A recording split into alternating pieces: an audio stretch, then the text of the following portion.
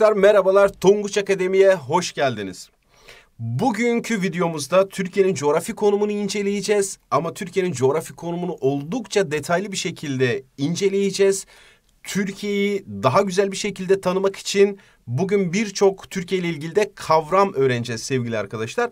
Ama öncesinde size ben programı göstereyim. Programa baktığınızda biliyorsunuz bazı arkadaşlar programlama yapmakta oldukça zorlanıyor. Programlama yapmak başarının en önemli adımlarından bir tanesidir. Bugün 30 Kasım sevgili arkadaşlar Türkiye'nin coğrafi konumu saat 18 ve dersimize başlayacağız. Ancak öncesinde ben derse başlamadan size şu kitabı tekrardan göstereyim. Konu anlatımlı soru bankamız. Arkadaşlar burada sayfa 40-42'yi açıyorsunuz ve Türkiye'nin coğrafi konumunu, Türkiye'nin matematik konumunu buradan inceliyorsunuz. Daha sonra konuyla ilgili soruları çözüyorsunuz. Soruları çözdükten sonra da konu iyice pekişiyor. Pekiştikten hemen sonra Dinamo Soru Bankamıza bakıyoruz. Dinamo Soru Bankamızda da konuyla ilgili soruları çözüyoruz ve Türkiye'nin coğrafi konumu ile ilgili artık yapamayacağımız hiçbir soru kalmayacak sevgili arkadaşlar. Şimdi sizler de hazırsanız derse başlıyoruz arkadaşlar.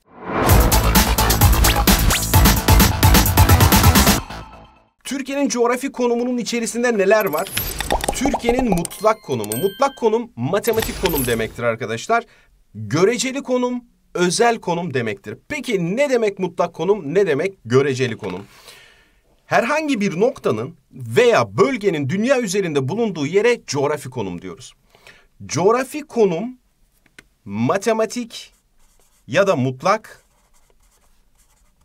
ve özel ya da göreceli konum olmak üzere ikiye ayrılıyor. Şimdi burada bir harita görüyoruz.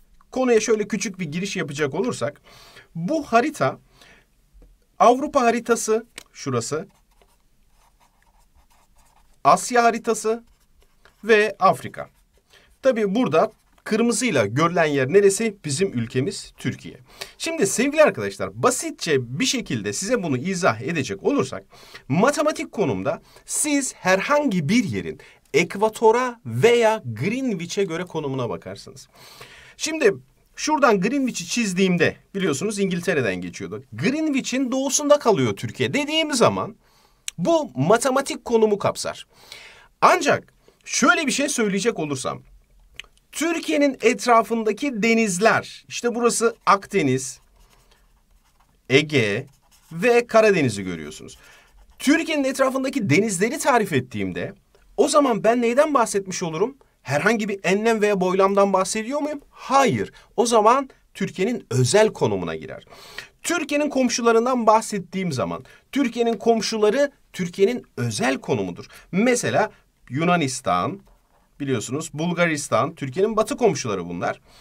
Doğusunda neler var? Gürcistan, Ermenistan, Nahçıvan özel bölgesi, Azerbaycan'a bağlı İran, doğu komşumuz, en büyük sınırlara sahip olan doğu komşumuz, Irak ve Suriye. Bunlar da Türkiye'nin sınır komşusu olan ülkeler. Şimdi ben Türkiye'nin sınır komşularından bahsettiğim zaman neyden bahsetmiş olurum? Türkiye'nin özel konumundan bahsetmiş olurum. Fakat şöyle bir şey söylesem, Türkiye ekvatorun kuzeyindedir dediğim zaman ekvatora göre konumundan bahsettiğim için arkadaşlar bu da neye dahil olacaktır? Matematik konuma dahil olacaktır. Şimdi bunu biz daha geniş çaplı bir şekilde ele alalım. Türkiye'nin bulunduğu enlem ve boylamlar neydi? Aranızdan muhakkak hatırlayanlar çıkacaktır. Türkiye 36 42 kuzey enlemleri ya da kuzey paralelleri ile 26 45 doğu boylamları arasındadır. Yani şuradaki şekle baktığımızda arkadaşlar neyi görüyoruz? Türkiye şurası ekvator. Ekvatorun kuzeyinde hangi paralellerde? 36 ve 42. Peki Greenwich'e göre, Greenwich'imizi de çizelim şöyle sıfırla gösteriyoruz onu. Bakın ekvator, ekvatora göre kuzeyde, Greenwich'e göre nerede kalıyor? Doğuda kalıyor. Peki ne kadar doğuda kalıyor? 26. boylam ile 45. boylam arasında kalıyor. Paralel olarak neydi? 36 ve 42 kuzey paralelleri arasında kalıyor. Yani bizim ülkemizin en kuzeyinden geçen paralel 42. kuzey paraleli. En güneyinden geçen paralel 36. kuzey paralelleri. KP kuzey paralelleri anlamına geliyor. Yani en kuzeyimizdeki şehrimiz Sinop, en güneyimizdeki şehrimiz Hatay sevgili arkadaşlar. Peki meridyen olarak Türkiye nerede kalıyordu? Hemen buradan hatırlayalım. Çekelim kopyamızı. 26 Doğu meridyeni ile DM ve 45 Doğu meridyeni arasında kalıyor. Şimdi buradan yola çıkarak bazı sonuçlar elde etmeye çalışalım. Hatay ile Sinop arasında toplam kaç paralel geçiyor? 42'den 36'yı çıkarttığımızda 6 paralel geçiyor. Yani şu şekilde 6 tane paralel geçiyor. Peki hatırlayalım daha önceki konudan. İki paralel arasındaki mesafe kaç kilometreydi? 111 kilometreydi. O zaman Hatay'dan Sinop'a kuş uçuşu mesafemiz ne olacak? 6 çarpı 111 kilometre. O da 666 kilometre eder. Demek ki Türkiye'nin matematik konumunun sonuçlarından bir tanesi kuzey ile güney arasındaki mesafe ne kadarmış? 6600 pardon 666 kilometre. Doğusuyla batısı arasında kaç tane boylam var? Yani Türkiye'nin üzerinden toplam geçen boylam kaç tane? Şöyle sayacak olursak 26'dan başlıyoruz 45'e kadar. Yani toplam 45'ten 26'yı çıkarttığımızda arkadaşlar 19 tane boylam oluyor. Peki 19 boylam şunu hatırlayalım gene daha önceki konumuzdan. İki boylam arasındaki mesafe zaman farkı olarak kaç dakikaydı? 4 dakikaydı arkadaşlar. O zaman 19 boylam çarpı 4 dakika ne yapacaktır? 76 dakikalık zaman farkı. Bu da Türkiye'nin boylamlarının sonucudur değerli arkadaşlar. Bulunduğu boylam aralığının sonucudur. Yani bir diğer ifadeyle şöyle söyleyelim. Eğer Çanakkale'de Türkiye'nin en batısındaki şehrimiz Çanakkale. Çanakkale'de arkadaşlar saat 12.00 ise acaba Iğdır'da en batıdaki şehrimiz pardon en doğudaki şehrimiz Iğdır. Iğdır'da saat kaçtır? Bakın 12 Iğdır'da saat kaçtır diyorum. Çanakkale'de 12 iken Iğdır'da kaçtır? Arada kaç dakika var? 76 dakika var. O zaman 76 dakika daha ileride olacak Iğdır. Çünkü doğuda saat daha ileridir her zaman. Dolayısıyla siz 12'ye 76 dakika eklediğinizde Iğdır'daki saat ne olacak? 13, 16 olacak sevgili arkadaşlar. Şimdi bunlar ne? Türkiye'nin boylamlarından ve meridyenlerinden e, diğer bir ifadeyle ve enlemlerinden e, çıkarttığımız sonuç olacak arkadaşlar. Gelelim gene Türkiye'nin matematik konumunun e, diğer sonuçlarına. Türkiye kuzey yarım kürededir diyoruz. Kuzey yarım küre nereye diyoruz biz? Ekvatorun kuzeyine kuzey yarım küre diyoruz.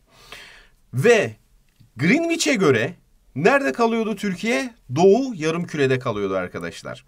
Doğu yarım küre yani Greenwich'in doğusuna biz doğu yarım küre derken batısına ne diyoruz? Batı yarım küre diyoruz. Peki Yengeç dönencesinin neresinde kalıyor? Kuzeyinde kalıyor. Yengeç dönencesi kaçıncı enlemdeydi arkadaşlar? Hatırlayalım. Yengeç dönencesi 23 derece 27 dakika kuzey enlemindeydi. Türkiye yengeç dönencesinin neresinde kalıyor? Kuzeyinde kalıyor. Ve aynı zamanda orta kuşakta yer alıyor. Orta kuşak ne? Değerli arkadaşlar şöyle hatırlayalım. Kutup noktası 90 ile gösteriyoruz. Yengeç dönencesi 23 derece 27 dakika. Kuzey kutup dairesi 66-33. Şimdi kuzey kutup dairesi ile kutup noktası arasında kalan kısma biz ne diyoruz? Kutup kuşağı diyoruz. Peki yengeç dönencesi ile Oğlak dönencesi arasında kalan şu da 23 derece 27 dakika güney. Bu kuzey. Şu arada kalan kısma ne diyoruz arkadaşlar? Bakın ekvator burada. Ekvatorun 23-27 kuzeyi ve güneyi. Şu arada kalan kısma biz ne diyoruz? Tropikal kuşak diyoruz. Bakın buraya ne dedik? Kutup kuşağı. Buraya ne dedik? Ekvatoral ya da tropikal kuşak. Ekvatoral kuşak. Türkiye bu aralıkta mı? Değil. Bu aralıkta mı? Değil. Türkiye nerede arkadaşlar? Türkiye şu aralıkta. İşte bu aralığa biz ne diyoruz? Orta kuşak diyoruz. Orta kuşak neresiymiş? Yengeç dönencesi ile kutup daireleri arasında kalan alan imiş. Sevgili arkadaşlar, Türkiye'de orta kuşakta yer alıyor. Peki orta kuşakta yer alınca ne oluyor? Yengeç dönencesinin kuzeyinde olunca ne oluyor? Bunlara da birazdan bakacağız değerli arkadaşlar. Bakın burada Türkiye kuzey yarım kürede yer alır. Buna bağlı olarak güneyden kuzeye doğru gidildikçe bazı durumlar ortaya çıkıyor. Nedir bu durumlar? Şimdi güneyden kuzeye doğru gidiyoruz. Bakın şu alt tarafta ne var? Ekvator var. Biz ekvatordan kutba gidiyoruz diğer bir ifadeyle. Şuradaki şekle baktığımızda Türkiye'nin güneyinden kuzeyine doğru gittiğimde ben nereden nereye doğru gitmiş oluyorum? Aslında bir anlamda ekvatordan kutba doğru gitmiş oluyorum. Peki neler değişiyor? Neler değişiyor? Yani Türkiye'nin güneyinden kuzeye gittikçe. Örneğin burası Antalya kenti, burası İstanbul. Şurası İstanbul kenti. Antalya'dan İstanbul'a doğru yola çıktığımızda neler değişir? Bir kere güneş ışınlarının yere düşme açısı ne olur sevgili arkadaşlar? Azalır. Neden azalıyordu güneş ışınlarının yere düşme açısı? Hatırlayalım. Ekvatordan kutuplara doğru gidildikçe güneş ışınlarının geliş açısı ne oluyordu? Azalıyordu. Bakın kutuplara doğru gidildikçe açı büyüyor. E aynı mantıkla o zaman ben Antalya'dan İstanbul'a doğru gittiğimde de güneş ışınlarının düşme açısı ne olacaktır? Azalacaktır. Sıcaklık ne olacak buna bağlı olarak? Azalır. Antalya mı daha sıcaktır, İstanbul mu? Ya da Adana mı daha sıcaktır, Samsun mu? Tabii ki güneydeki şehirlerimiz. Neden? Çünkü ekvatora daha yakın olanlar. Denizlerdeki tuz oranı ne olur? Azalır sevgili arkadaşlar. Yani şöyle bakacak olursak bizim güneyimizde hangi denizimiz vardı? Akdeniz. Hemen batımızda ne vardı? Ege ve kuzeyde ne vardı? Karadeniz vardı. Bu üç denizimizden hangisi daha tuzlu? Akdeniz daha tuzlu. E hocam bir yer ekvatora yakın olunca daha doğrusu bir deniz ekvatora yakın olunca neden daha tuzlu oluyor?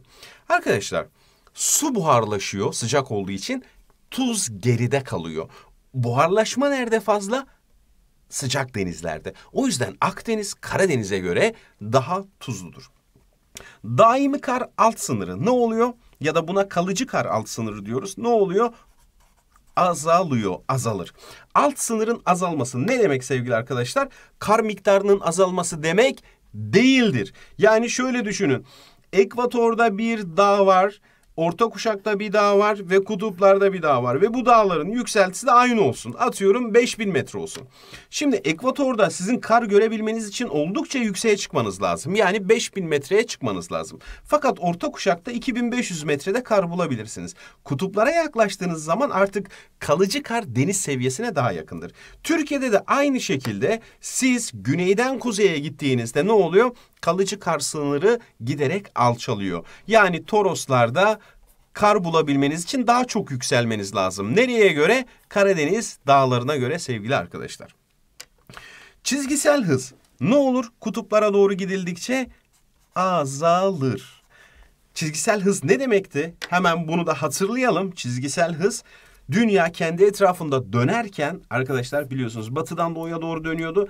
Hızı her yerde aynı değil. Nerede hızlı dönüyordu? Ekvatorda hızlı dönüyordu. Dolayısıyla çizgisel hız ekvatorda fazla, kutuplara doğru gidildikçe azalıyor. E, o zaman Türkiye'nin güneyinde çizgisel hız ekvatora yakın olduğu için daha e, hızlı. Nereye göre?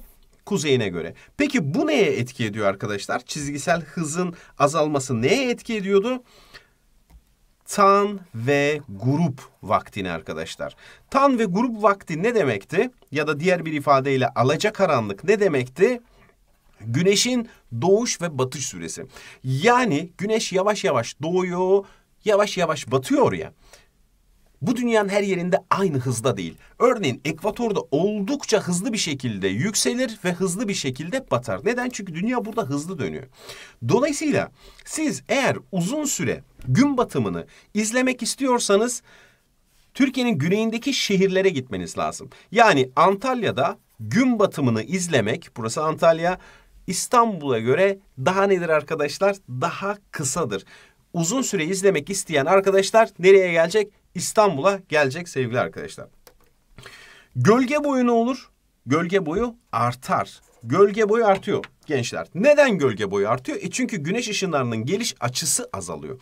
Yani aynı boydaki iki insan düşünün. Biri Adana'da, öbürü Samsun'da. Hangisinin gölgesi daha uzundur? Samsun'dakinin gölgesi daha uzundur. Çünkü güneş ışınları daha eğik açıyla geliyor. Yer çekimi ne olur? Kutuplara doğru artar. Neden yer çekimi artıyor? Yer çekiminin artmasının sebebi ne? Dünyanın geoid şekli sevgili arkadaşlar.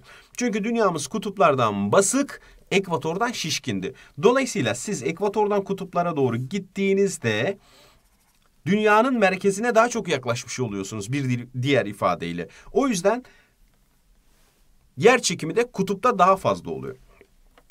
Gece gündüz süre farkı ne olur kutuplara gidildikçe artar. Yani şöyle düşünelim.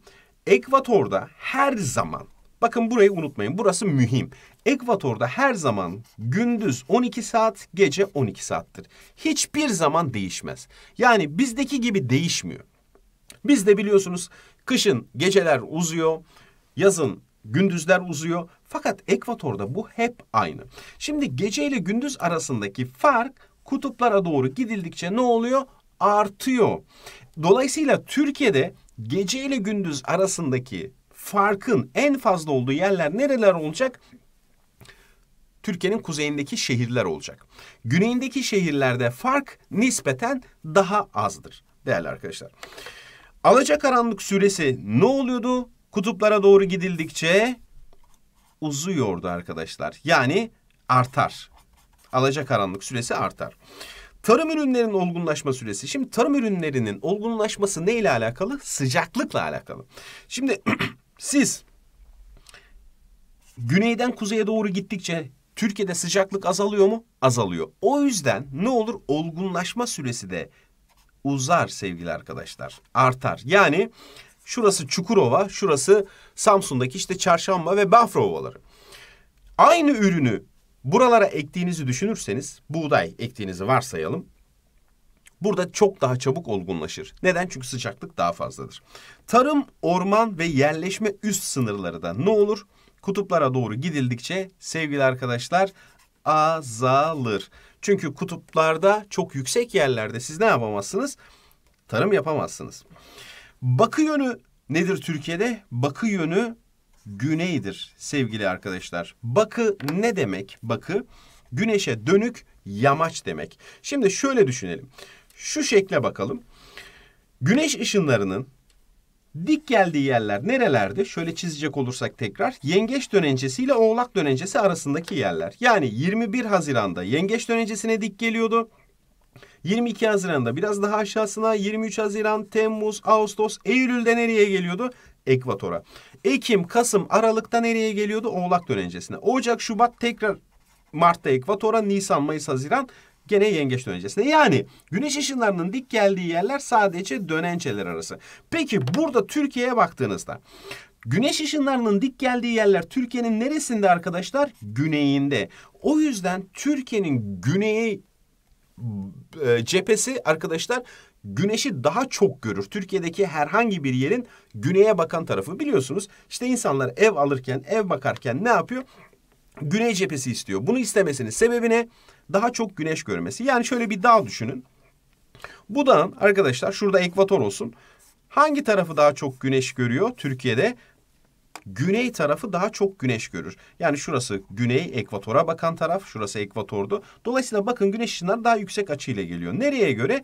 Kuzey yamacına göre sevgili arkadaşlar. Demek ki bakı neymiş? Bu kavramı çok sık duyacaksınız. Bakı güneşe dönük yamaç demek. Peki Türkiye'de bakı yönü neymiş? Güney sevgili arkadaşlar. Gelelim Türkiye orta kuşakta yer alınca ne oluyor? Orta kuşak neydi? Hatırlayalım tekrardan. Yengeç dönencesi ile kutup dairesi arasında kalan kısım yani şurası orta kuşak. Aynı şekilde güney yarımkürede de oğlak dönencesi ile kutup dairesi arasında kalan yer orta kuşak arkadaşlar. Şimdi bakın orta kuşakta dört mevsim belirgin yaşanıyor. Ya hocam dünyanın başka yerinde dört mevsim yaşanmıyor mu? Yaşanıyor. Her yerde dört mevsim var. Fakat mevsimler arasında sıcaklık farkı yok. Yani sen kutba ne zaman gidersen git kutup soğuktur. Ekvatora ne zaman gidersen git sıcaktır. İster Temmuz'da ister Ocak'ta git. Kutup da aynı şekilde hep soğuk. Fakat orta kuşak nedir sevgili arkadaşlar? Dört mevsimin belirgin bir şekilde yaşandığı alandır. Yani sen Temmuz'da gidersen sıcaktır, Ocak'ta gidersen soğuktur. Ve batı rüzgarları etkilidir Türkiye'de. Şimdi bakın buradan da şunu bilelim. Dünya üzerinde arkadaşlar sürekli olarak esen üç tane rüzgar var. Sürekli olarak esen üç rüzgar. Nedir bunlar? Bir tanesi dönencelerden ekvatora doğru esen alize rüzgarları. Şimdi bu alize rüzgarları bizi etkilemiyor. Bakın yazıyorum alize. Alize. Bunlar bizi etkilemiyor. Neden? Çünkü bakın bunların estiği yer burası Türkiye burada. Ve gene kutup rüzgarları vardır. Kutup rüzgarları da bizi ilgilendirmiyor. Kutup rüzgarları kutuptan kutup noktasından kutup dairesine doğru esen rüzgarlar. Peki bizi ilgilendiren rüzgarlar hangileri? Bizi ilgilendirenler arkadaşlar batı rüzgarları. Orta kuşakta etkili olan bu rüzgarlar. Neymiş adı? Batı rüzgarları. Türkiye işte bu rüzgar kuşağında bulunuyor. Ve gene aynı şekilde orta kuşakta cephe yağışları görülür arkadaşlar. Cephe yağışlarını siz şurada göremezsiniz. Kutuplarda göremezsiniz. Cephe yağışları nerede olacak? Orta kuşakta. O yüzden Türkiye'de aynı zamanda cephe yağışları yani iki tane farklı hava kütlesi karşılaşıyor ve yağış bırakıyor. Ve gene çok önemli bir detay. Akdeniz iklim kuşağı içerisinde yer alır. Bu kuşak nerededir? Bu kuşak orta kuşaktadır arkadaşlar. Akdeniz iklimi Akdeniz'le yani deniz olan Akdeniz'le alakalı değildir aslında. Akdeniz iklimi her iki yarım kürede de gözükür. Mesela Güney Afrika'da da Akdeniz iklimi var. Burada Akdeniz mi var? Hayır. Ee, dolayısıyla bu enlemle alakalı bir durum.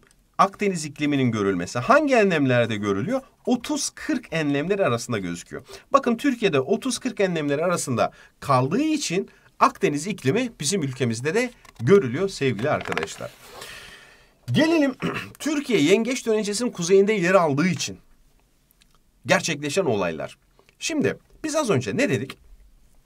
Güneş ışınlarının dik geldiği yerler sadece dönenceler arası dedik değil mi? 21 Haziran'da yengeç dönencesi, daha sonra aşağı geliyor geliyor 3 ay sonra Eylül'de 23 Eylül'de ekvatora, Ekim, Kasım, Aralık'ta Oğlak dönencesine, Ocak, Şubat, Mart'ta tekrar ekvatora, Nisan, Mayıs, Haziran'da nereye geliyor? Yengeç dönencesine geliyor. Peki Türkiye nerede? Türkiye dönencenin dışında yani şurada. Türkiye güneş ışınları hiçbir zaman dik gelmez. Yani Türkiye'ye güneş ışınları 90 derecelik açıyla asla ve kata düşmez. Şimdi dik açıyla gelmediği için sevgili arkadaşlar Türkiye'de gölge boyları da hiçbir zaman ne olmaz? Sıfır olmaz. Çünkü gölge boyunun sıfır olabilmesi için arkadaşlar güneş ışınlarının 90 derecelik açıyla gelmesi lazım. Yani şuralarda gölge boyları sıfır olabiliyor. Ama bunların dışında dönencelerin dışında hiçbir yerde gölge boyu sıfır olmaz. Ve bize güneş ışınlarının en yüksek açıyla geldiği tarih ne?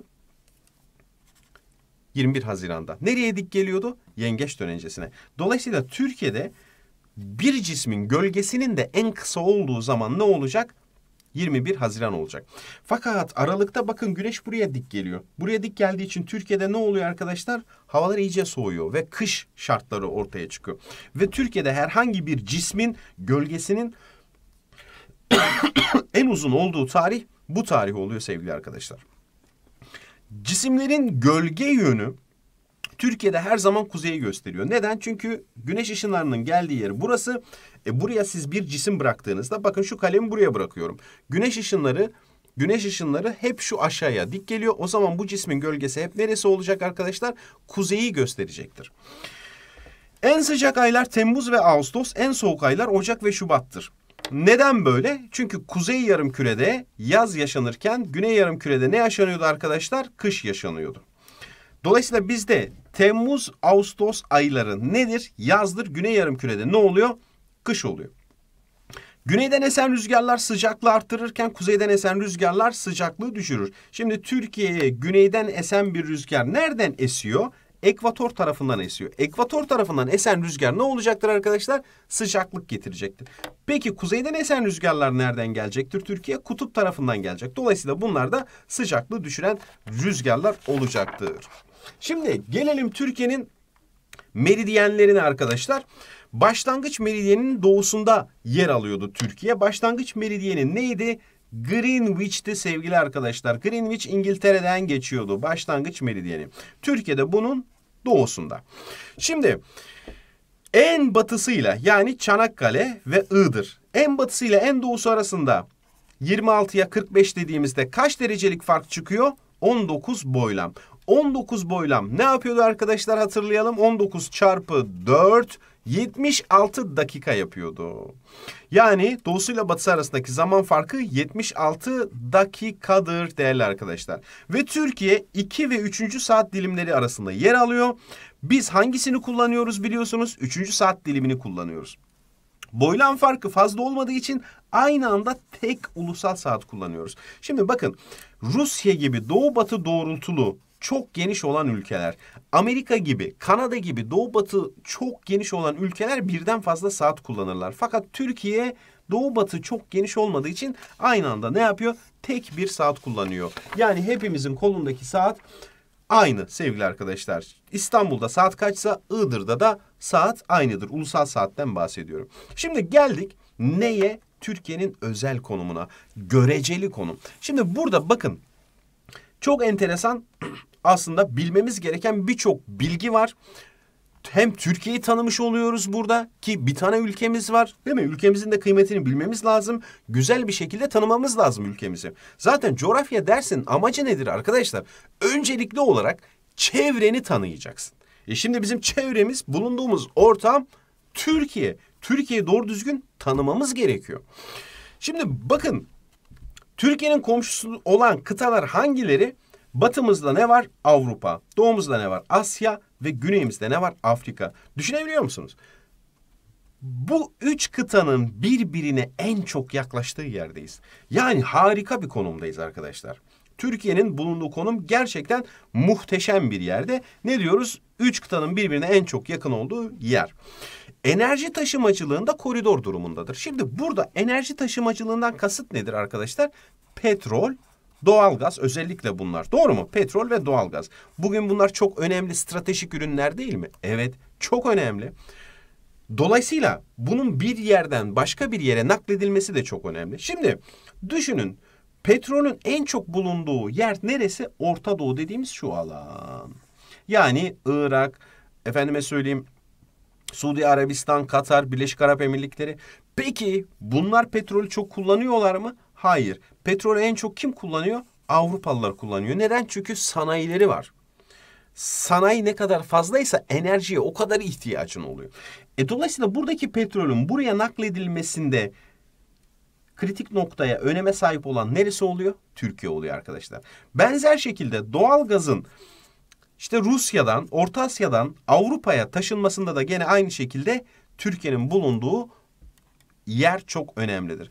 Transit ticaret için çok elverişlidir. Ne demek arkadaşlar transit ticaret? Aynı şekilde işte Orta Doğu'dan ve Orta Asya'dan siz Avrupa'ya gidecekseniz ya da Avrupa'dan buraya mal taşıyacaksanız ne olacak? Türkiye'ye geçmek zorundasınız. Ulaşım da köprü konumundadır. Bakın işte buradan buraya geçiyorsunuz. Siz Orta Doğu'dan Avrupa'ya geçmek için Türkiye köprüsünü geçmek zorundasınız. Küresel örgütlerin birçok e, birçoğuna üye.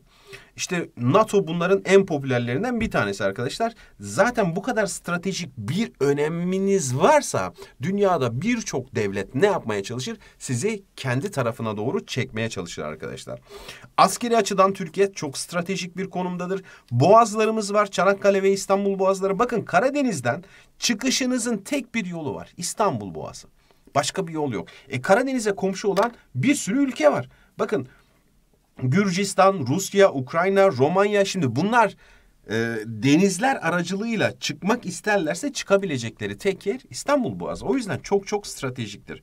Ve üç tarafı denizlerle çevrili bir yarımada ülkesidir. Yarımada üç tarafı denizlerle çevrili olan alan demektir. Ada dört tarafı denizlerle çevrili olan demek arkadaşlar. Şimdi gene göreceli konumunun bir diğer unsuru olan yükselti. Sevgili arkadaşlar buradaki haritaya baktığınızda haritada önce bazı renkler görüyorsunuz. O renkleri hatırlayalım. Şimdi yeşil renkler ne demekti? Yeşil alçak demek arkadaşlar. Yani yükseltisi az olan. 0 metre ile 500 metre arasında olan yükseltiler yeşille taranıyor.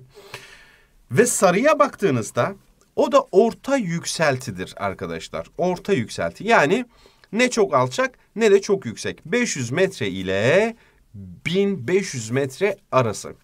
Peki kahverengiliklere baktığımızda kahverengi yüksek demek arkadaşlar. Yani 1500 metreden daha yüksek olanlar. Şimdi baktığınızda Türkiye'nin ortalama yükseltisine arkadaşlar 1140 metre civarında bir yükseltisi var. Bu Türkiye'yi dünyanın en yüksek ülkelerinden biri yapıyor arkadaşlar. Özellikle dikkat edin kahverengiliklere bakın Akdeniz, Toros Dağları böyle gider. Karadeniz aynı şekilde yüksektir. Doğu Karadeniz ve Doğu Anadolu bölgesine baktığınızda zaten oldukça yüksek bir yer görüyorsunuz. Türkiye'de alçak olan yerler nereler? Bakın Marmara, Ege. Ve Türkiye'de siz eğer batıdan doğuya doğru gidecekseniz yani şuradan yola çıkıp doğuya doğru giderseniz ne oluyor? Yeşilden sarıya, sarıdan kahverengiye. Yani batıdan doğuya doğru. Bakın burası çok mühim arkadaşlar. Türkiye'de yükselti batıdan doğuya doğru artar. Siz batıdan doğuya doğru gittikçe rakım yükseliyor. Yani deniz seviyesinin üstüne çıkıyorsunuz. Şimdi bu yükseltinin de bazı etkileri var. Ne gibi? Tarımda makine kullanımı zor diyor. Neden zor? Çünkü makine kullanımı için arkadaşlar düz araziye ihtiyacınız var. Şimdi bakın bu kadar yüksek engebeli bir yerde makine kullanmak çok çok güç. Karasallık şiddeti fazladır. Karasallık ne demek? Karasallık arkadaşlar deniz etkisinin giremediği yerler. Mesela Türkiye'nin kıyıları nedir? Denizeldir ama iç kesimleri nedir? Karasaldır. Dolayısıyla karasallık şiddeti fazladır. Karasallık şiddetinden özellikle ben ne anlayacağım arkadaşlar? Sıcaklık farkını anlayacağım. Hocam bu ne demek? Bu şu demek. Yani e, gündüz ısınıyor, gece çok soğuyor ya da yazın çok ısınıyor, kışın çok soğuyor. Türkiye'nin iç kesimlerine hep kar yağışları olur. Kıyılara çok fazla olmaz. Neden? Çünkü soğuyanlar iç kesimler, karasal olan kısımlar. Gerçek ve iz düşüm alan farkı fazladır. Bak bunu da çok karşılaşacaksınız arkadaşlar. Ne demek? Gerçek alan ve iz düşüm alan. Şimdi bakın Türkiye'nin dünya üzerinde kapladığı bir alan var. Bu Türkiye'nin iz düşüm alanıdır. Türkiye'nin iz düşüm alanı 780 bin kilometre karedir. Bakın rakam neymiş? Gerçekte 780 bin. Pardon. İz düşümde 780 bin kilometre kare. Peki gerçek ne Türkiye'de? 814 bin kilometre kare. Şimdi bakın arada 30 bin kilometre kare gibi bir fark var. Hocam ne demek bu iz düşüm gerçek e, alan ve iz düşüm alan? Şimdi Türkiye şöyle düşünün. Buruşuk bir e, bez parçası gibi düşünebilirsiniz burada. Şimdi eğer ütüyü vurursam ben Türkiye'ye ne olacaktır arkadaşlar? Bu buruşuk bez parçası düzelecektir ve alan genişleyecektir. Doğru mu? Doğru. Dolayısıyla bu genişlemiş olan alan Türkiye'nin gerçek alanıdır. Fakat Türkiye'nin dünya üzerinde kapladığı, oturduğu alan ise iz düşüm alandır sevgili arkadaşlar. Bir yer ne kadar yüksekse gerçek alanla iz düşüm alan arasındaki fark da o kadar fazla oluyor. Yol yapım maliyeti fazladır. Neden fazla? E çünkü engebeli yerlerde yol yapmak istiyorsanız tüneller açacaksınız, viyadükler yapacaksınız arkadaşlar. Dolayısıyla maliyet oldukça fazla oluyor. Tabii bu her yerde aynı maliyetle olmuyor. Mesela e, Marmara bölgesinde maliyetler, Ege bölgesinde maliyetler daha az iken Doğu Anadolu bölgesinde maliyetler oldukça fazladır. Erozyon şiddetlidir. Erozyon ne demek? Toprağın üst kısmının aşınması. Şimdi bu kadar yüksek bir yerde toprak e, rahat bir şekilde aşınır. Dolayısıyla erozyon da şiddetli oluyor. Tarım alanları dar ve parçalıdır diyor. Şimdi bakın özellikle dağlık ve engebeli alanlarda mesela Doğu Anadolu bölgesindeki tarım alanlarına bakalım. Burada bir Iğdır Ovası'nı görüyorsunuz. İşte burada Muş Ovası'nı görüyorsunuz. Erzincan Ovası'nı görüyorsunuz.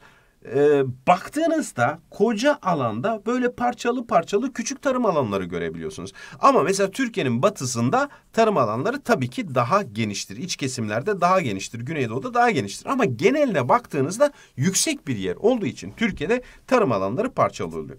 İklim ve bitki örtüsü değişimi fazladır. Arkadaşlar Türkiye'de iklim ve bitki örtüsünü değiştiren şey nedir? Sıcaklıkların farklı olması. Şimdi ben batıdan doğuya doğru gittiğimde yükselti artıyor mu? Evet. Yükselti arttıkça sıcaklık azalıyor mu? Evet. Dolayısıyla iklim değişmez mi? Bitki örtüsü değişmez mi? Evet. Dolayısıyla bunu etkileyen ana unsur bu Türkiye'nin kısa mesafelerde yükseltisinin değişmesi. Şimdi iklim, bitki örtüsü, toprak, tarım ürünleri ve turizm etkinlikleri çeşitlenmiştir. Mesela turizm etkinlikleri niye çeşitleniyor? Türkiye tamamen düz olsaydı ya yükseltisi fazla olmayan bir ülke olsaydı arkadaşlar kış turizmi yapılabilir miydi? Elbette ki yapılamazdı. Şimdi bizim kış turizmi yapabilmemizin sebebi ne? Yüksek yerlerin olması, oraların kar tutması değil mi değerli arkadaşlar? Yükselti genel olarak ne dedik? Batıdan doğuya doğru gidildikçe artar. Ve sıcaklık ortalaması da gene aynı şekilde azalıyor doğuya doğru gidildikçe. Bizdeki dağlar, ülkemizdeki dağlar doğu batı doğrultulu uzanıyor. Yani şu şekilde. Bakın Karadeniz'deki dağlar şöyle uzanır. Akdeniz'deki dağlar böyle uzanıyor. İşte Doğu Anadolu bölgesindeki dağlar da aynı şekilde uzanıyor. Ege'de de aynı şekilde uzanıyor. Bakın dağlar doğu batı doğrultulu uzanıyor. Şimdi bunun da bazı etkileri var. Ne gibi? Kıta sahanlığı dardır diyor. Ne demek kıta sahanlığı? Kıta sahanlığı ne demek? Kıta sahanlığı arkadaşlar şöyle düşünelim. Şurada bir dağlık alan var. Burada başka bir dağlık alan var. Şöyle dağlık olmasın biraz daha düz olsun burası. Şimdi bir de deniz çizelim şuraya. Bakın deniz. Buraya da denizimizi çizdik. Şimdi dikkat ederseniz burada çizdiğim şekillerde şurada denizin birden daha hızlı bir şekilde derinleştiğini görürsünüz. Ama burada derinleşmenin daha yavaş olduğunu görüyorsunuz. Arkadaşlar eğer deniz birden derinleşiyorsa yani şuradaki gibi birden derinleşiyorsa kıta sahanlığı ne oluyor? Dar oluyor. Bakın şu renklerden anlarsınız. Mavinin tonları deniz derinliğine veriyor arkadaşlar. Karadeniz'e bakın, Akdeniz'e bakın. Hemen kıyıdan sonra koyulaşıyor. Bu ne demek? Deniz birden derinleşiyor. Dolayısıyla buralarda kıta sahanlığı ne olacaktır? Karadeniz'de ve Akdeniz'de kıta sahanlığı dar arkadaşlar. Oysa Ege'de dikkat edin bakın ton oldukça açık. O yüzden burada da kıta sahanlığı ne oluyor? Geniş oluyor. Bir diğer kavram limanların art bölgesi. Yani hinterland. Bu ne demek? Dardır. Arkadaşlar şimdi Türkiye'de dağlar doğu batı doğrultulu uzandığı için Karadeniz'de ve Akdeniz'de kıyının hemen gerisinde şöyle yüksek dağlar oluştuğu için bakın şöyle düşünün. Şu benim elimi dağ gibi düşünebilirsiniz. Şimdi burada bir liman var. Gemi mallarını indirdi. Peki bu malların iç kesimlere gidebilmesi kolay mı? Hayır. Neden? Çünkü şu dağları aşması gerekiyor. Yani buradaki dağların yükseltisi ulaşımı güçler güçleştirdiği için burada hinterland yani ulaşım daha zor oluyor. Aynı şekilde Karadeniz'de de kıyıdan iç kesimlere girmek oldukça zor. Çünkü dağlar izin vermiyor. Ama Ege'den iç kesimlere sokulmak oldukça kolay. Marmara'dan oldukça kolay. Dolayısıyla Ege ve Marmara'daki limanların hinterlandı ne oluyor? Geniş olurken Karadeniz ve Akdeniz'deki limanların hinterlandı dar oluyor. Dolayısıyla deniz etkisi de iç kesimlere sokulmaz. Yani burada deniz etkisi geliyor dağa çarpıyor. Bakın burada da aynı şekilde geliyor dağlara çarpıyor. İç kesimlere sokulmuyor. Ama Ege'de ve Marmara'da içeriye sokulması daha kolay. Koy, Körfez, doğal liman ve girinti çıkıntı Türkiye'nin kuzeyinde ve güneyinde ne oluyor arkadaşlar? Az oluyor. Ne demek burada Körfez? Körfez e, ve koy ne demektir ona bakalım. Arkadaşlar Körfez denizin karanın içine sokulmuş kısmıdır. Bakın dikkatlice buraya. Mesela şurada deniz içeriye sokulmuş. Ne var burada? İskenderun körfezi var. Burada Antalya körfezi var. İçeriye sokulmuş. Anlatabildim mi? Şimdi dolayısıyla buralarda Karadeniz'de ve Akdeniz'de koy ve körfez az ama Ege'de fazla oluyor. İç bölgelerde iklim ne oluyor? Karasal. Çünkü deniz etkisi içeriye sokulamıyor. Ve kıyı ile iç kesim arası ulaşımda oldukça zordur. Kafanıza göre siz bu kıyıdan içeriye sokulamazsınız. Ancak ve ancak belli geçitlerle sokulabilirsiniz. Şimdi jeolojik olarak da genç oluşumlu bir ülkedir Türkiye. Bu ne demek? Jeolojik olarak genç. Bu şu demek arkadaşlar. Şimdi dünya oluşmaya başladığında daha Türkiye yok. Bir sürü yer oluşuyor ama Türkiye yok. Türkiye günümüze çok yakın bir zamanda oluştu. Bu gördüğünüz kara parçası. İşte günümüze yakın bir zamanda oluştuğu için biz buna ne diyoruz? Genç diyoruz. Yakın bir zaman diyoruz. Jeolojik olarak gençten bunu anlayacağız arkadaşlar.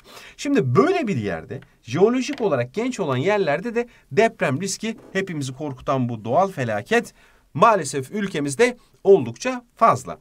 Baktığımızda Türkiye'de deprem fay hatları buradan şöyle geliyor arkadaşlar.